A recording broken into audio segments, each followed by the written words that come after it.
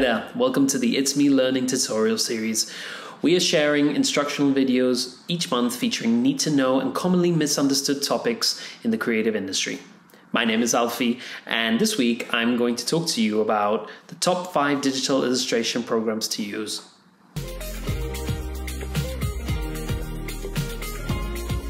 This is Adobe InDesign. InDesign is a desktop publishing and page layout application. It's great for creating books, brochures, portfolios, presentations, and many more multi page designs. InDesign works with both vector and raster graphics, so it's incredibly versatile and pays attention to not only the flexibility of using vector graphics, but also to the functionality of working with imagery. You will work with plenty of text editing as shown, with a whole range of tools to make your text publishing functions run smoothly. When it comes to images, you can easily drag and drop all your images on your template. You can create your template just like this one before even selecting the final imagery you would like to work with. Sometimes publishers might want to see the template layout before using any final imagery. You can create booklets with large amounts of images or even focus on different aspects of each image and fit them into the proportion you would like to display them in. Like this, for example. This piece was created by Adi Rivera Sonda, and I'm highlighting different features of her work for this example. You will be able to customize your image layouts and change the proportions of your images as well. Once you're happy with your layout, you can start on your next page.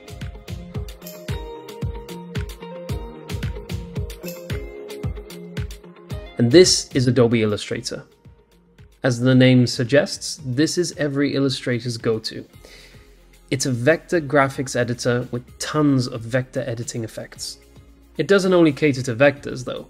You can also work with raster graphics, but you'll find some limitations when it comes to editing. This design I created myself shows you a combination of both vector and raster graphics.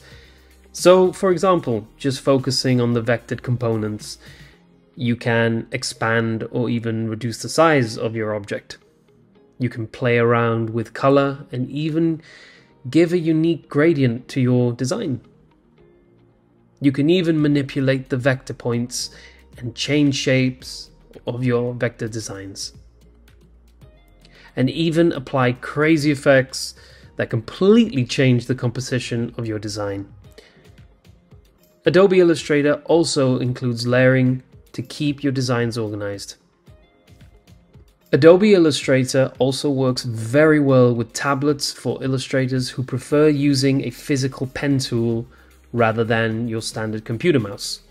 It's essential to have Illustrator files because you never know when your client will need you to make a specific change to areas in your design work. Get creative on Illustrator.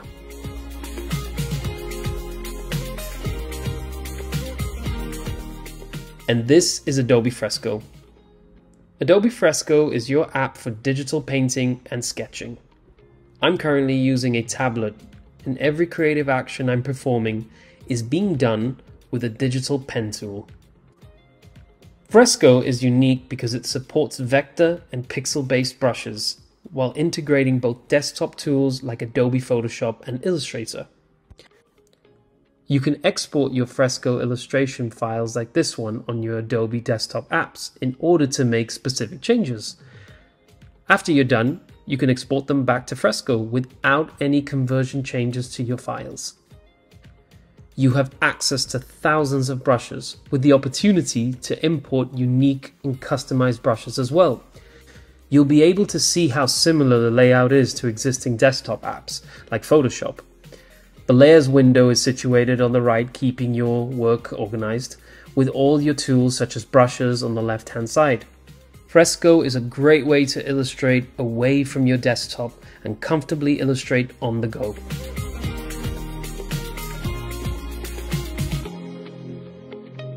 This is Procreate. Procreate is one of the most popular illustration apps for tablets, focusing on digital painting and sketching. Every action I'm currently taking is being done with a digital pencil tool on a tablet. Procreate gives you a vast library of digital brushes to experiment with, as well as the option to download premium brushes that suits your style. It's considered a great choice when it comes to tight budgets, as there's only a one time app purchase for the software as opposed to subscription based apps in the app market. And aside from illustration, Procreate has the ability to animate your designs. You can export your work to many types of files, including Photoshop, PDF, TIFF, JPEGs, GIFs, and even MP4 an excellent choice for illustrators on the go, a great app for all skill levels with a very easy to use interface.